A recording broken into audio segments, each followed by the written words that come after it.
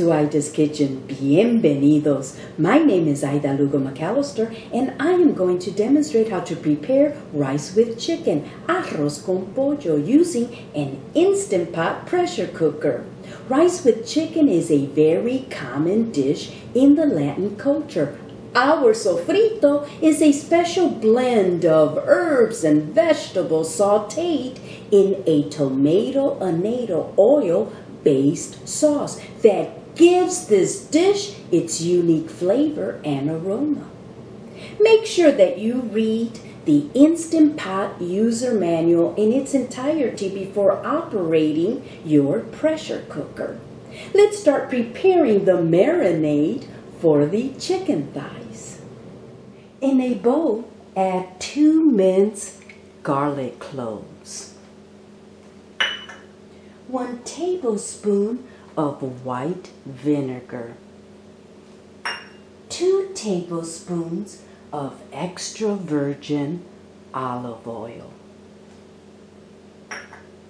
1 quarter teaspoon of black pepper, 1 half teaspoon of light salt or to taste, and 1 quarter teaspoon of cumin. Mix all the ingredients until well blended.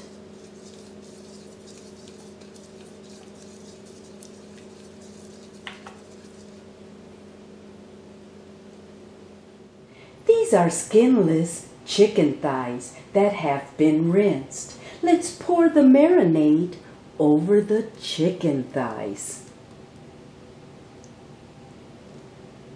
and coat them evenly with the marinade.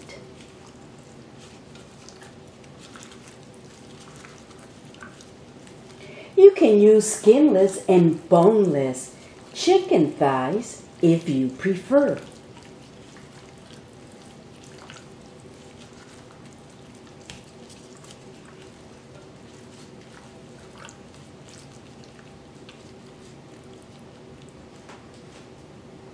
cover with lid and refrigerate for four hours or overnight. You will need two special ingredients for this recipe, sofrito and seasoning envelopes with coriander and annatto. Here is a recipe on how to prepare sofrito for a single meal and another recipe on how to create your own special blend of seasonings for those individuals that are not familiar with our condiments or they are not available at your local market. These are the chopped ingredients to make sofrito for a single meal. 1 garlic clove, 1 tablespoon of onion, 2 tablespoons of green pepper, 2 small or medium-sized culantro leaves, or you can substitute with 3 sprigs of cilantro. 1 tablespoon of ají dulce, sweet pepper, or you can substitute with cubanelle pepper.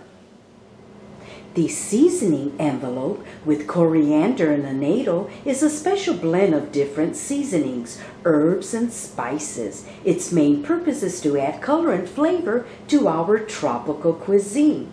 This is the Goya brand, but you purchase the brand of your preference. You can also create your own blend of seasonings by mixing the following ingredients into a bowl. 1 teaspoon of ground coriander, 1 teaspoon of garlic powder, a half a teaspoon of light salt, an eighth of a teaspoon of ground cumin, and 4 teaspoons of paprika or 4 teaspoons of ground annatto seeds. When a recipe calls for 1 seasoning envelope, add 1.5 teaspoons of the mixed ingredients to your dish. Before we mix the condiments to saute later, let's cut a few sprigs of fresh cilantro to add flavor to this dish.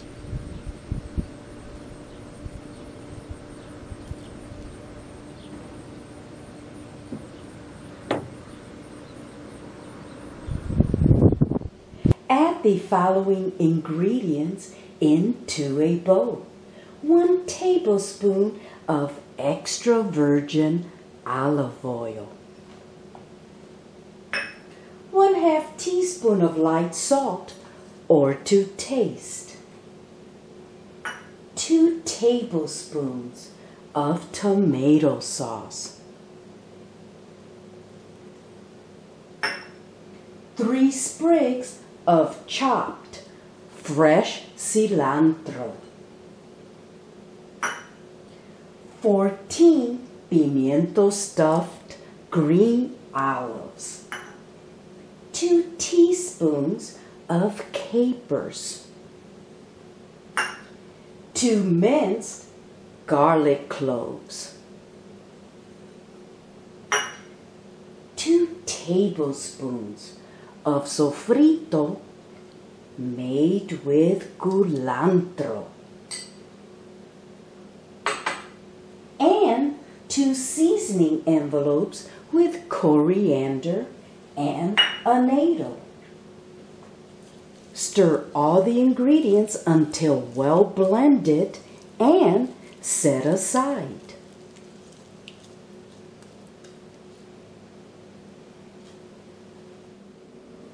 For this recipe, we will be using 2 cups of long grain white rice. I would recommend always rinsing the rice when using a pressure cooker.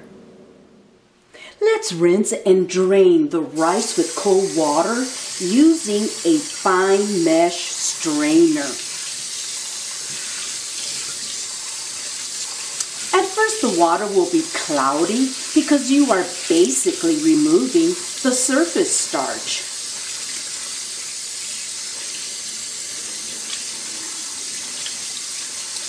The water runs clear, the rice has been rinsed.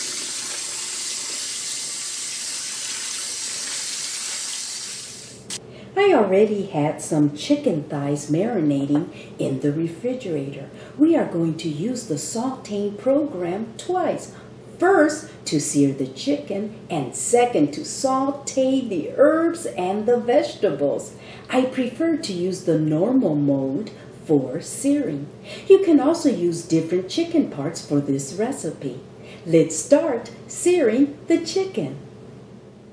Turn the power on by pressing the cancel button and select the saute program.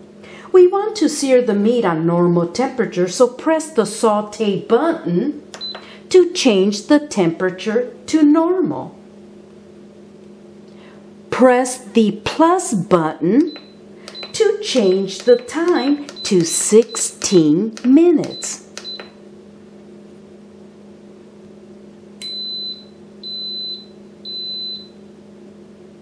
The status icon indicates that the unit is heating.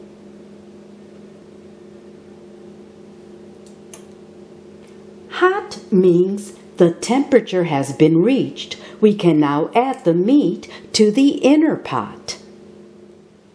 We are going to sear the chicken thighs in two batches. Let's add the first batch of chicken into inner pot and sear to lightly brown on both sides.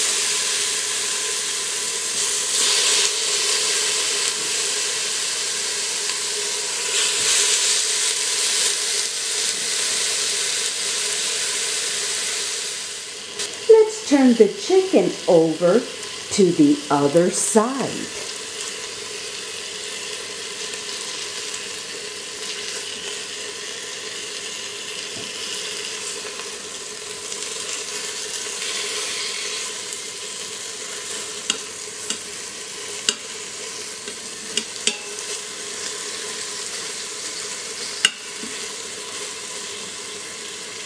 If you finish searing both batches of chicken before the selected time, then press the cancel button to stop the searing process. The first batch of chicken thighs is done. After removing the first batch of chicken, add the second batch and continue searing the chicken until brown on both sides.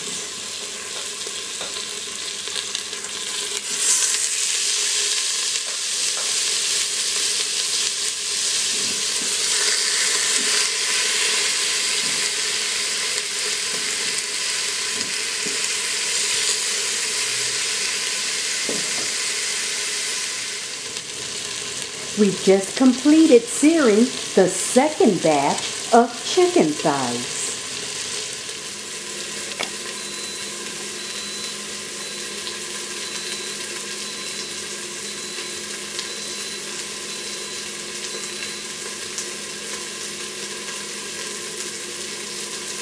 We just completed searing the meat.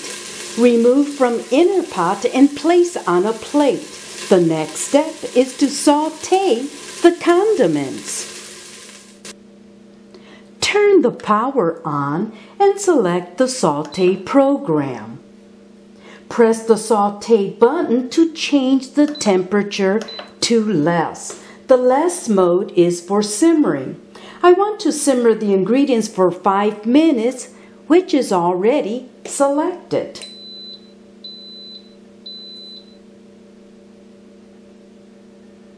The status icon indicates that the unit is heating. Hot means the saute temperature has been reached. We can now add the condiments to the inner pot.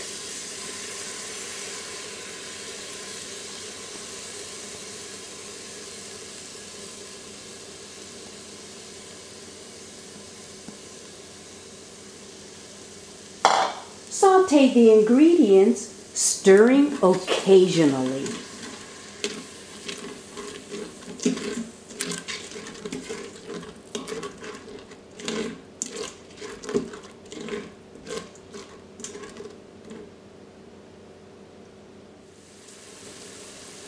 You can definitely smell the condiments. I am going to stir the ingredients one more time.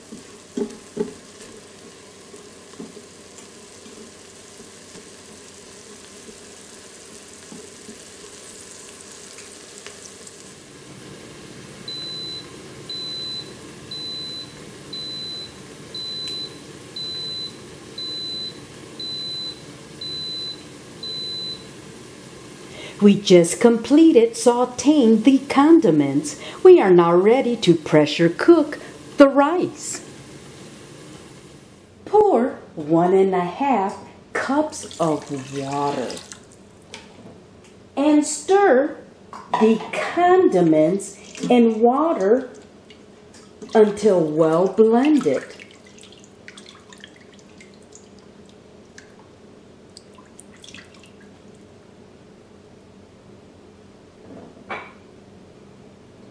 Place the chicken at the bottom of inner pot.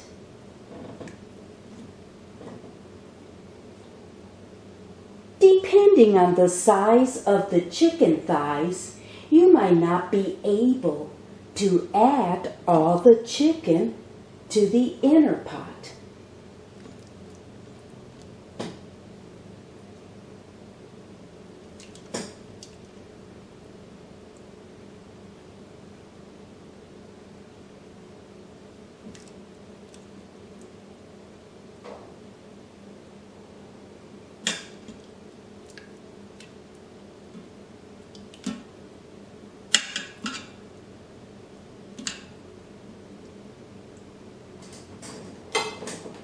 Add 2 cups of long grain white rice.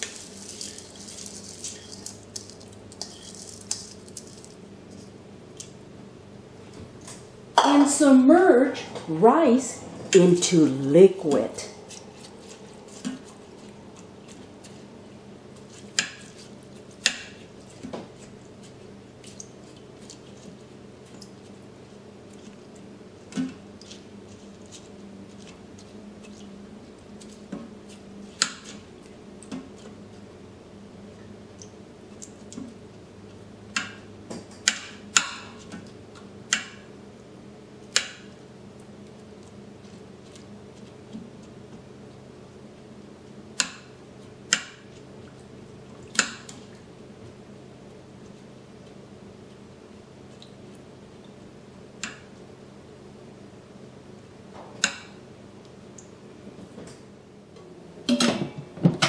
Close the lid into lock position. Turn steam release handle to sealing position.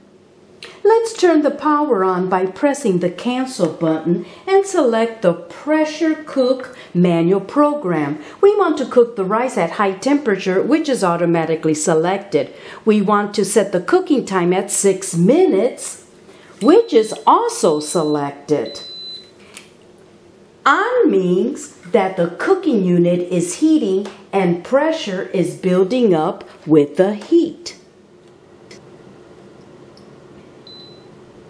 When the cooking unit is completely pressurized, the cooking cycle will start counting down based on the time setting we selected.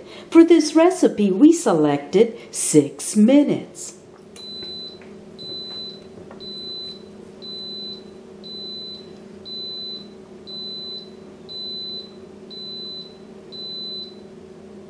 The rice is finished cooking. The cooker will switch to the keep warm mode function counting up.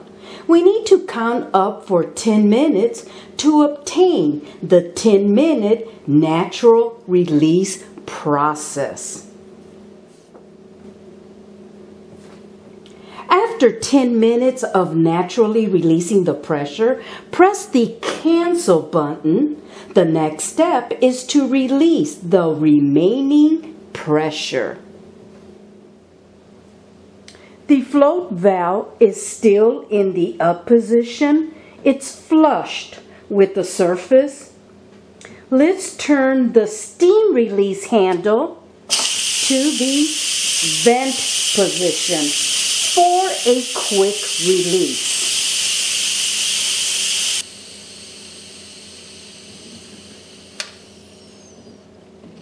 When the pressure is completely released from the unit, the float valve drops down. We can now remove the lid from the pressure cooker. Let's check if the rice is done.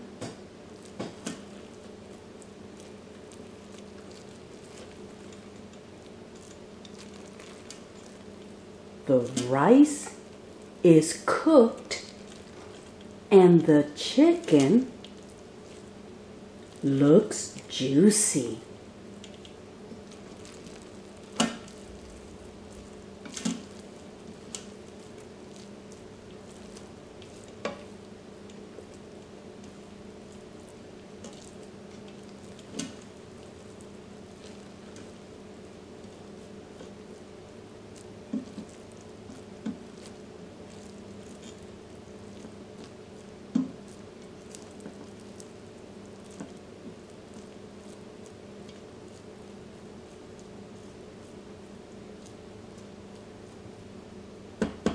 We can now serve the rice.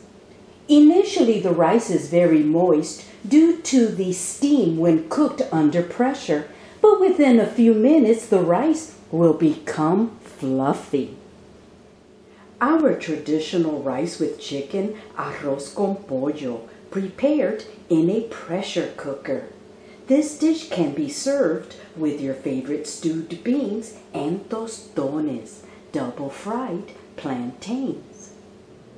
This video is an updated version. The previous version has been removed from my YouTube channel. Let's taste the rice with chicken.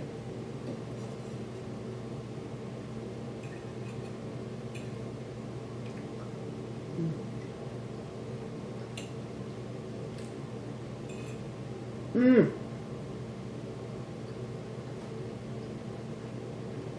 This is so awesome. Delicious. Este arroz con pollo me quedó bien sabroso. The rice and chicken are tender with lots of tropical flavors due to our condiments. Mmm, mmm. Mmm. I hope you have enjoyed watching my YouTube video on how to prepare rice with chicken, arroz con pollo, using an Instant Pot pressure cooker. Thank you for watching my YouTube cooking video. Please share, like, and subscribe to my YouTube channel. If you would like a copy of my cookbook, visit my website, aidaskitchenboricua.com and click on the cookbook tab. My cookbook is a bilingual Puerto Rican cookbook and it contains 42 authentic Puerto Rican recipes that I learned how to cook while living in Puerto Rico. This side is the English version. If you flip the book over, the other side is the Spanish version. Again, thank you for watching my YouTube cooking video.